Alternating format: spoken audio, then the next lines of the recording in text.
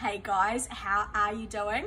I wanted to show you this fantastic Ornapop Elf on the Shelf advent calendar. It's super cool, something different from having the lollies and having the all sorts of itsy bitsy things. These become Christmas decorations. So I've taken December the first one off uh, here already. And Chris, if you pop over here, we will show the fans what we're doing. So pop it down over here. Can you see it?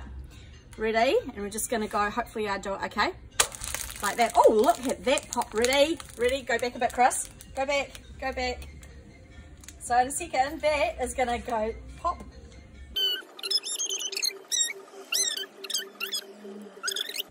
I can hear it. and I caught it.